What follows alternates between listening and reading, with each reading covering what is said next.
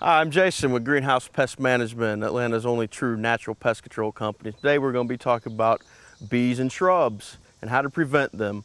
Um, to be honest with you, there's really no way to prevent bees and shrubs. Um, the best thing to do is walk around on a monthly basis and just inspect inside your shrubs. Uh, usually you're going to find hornet nests and such up inside here.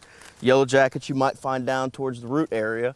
The best thing to do is when you do find the nest, find a can of wasp and hornet killer. You can buy it at any convenience store, local store around you. We actually use a natural wasp and hornet killer like this.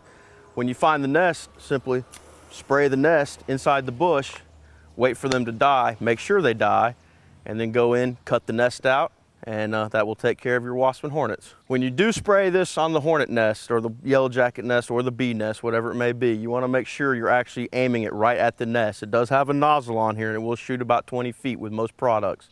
You don't want to spray in your face, you don't want to spray your neighbor, you don't want to spray your kids because it will hurt, it will burn your eyes, and sometimes it can be unhealthy.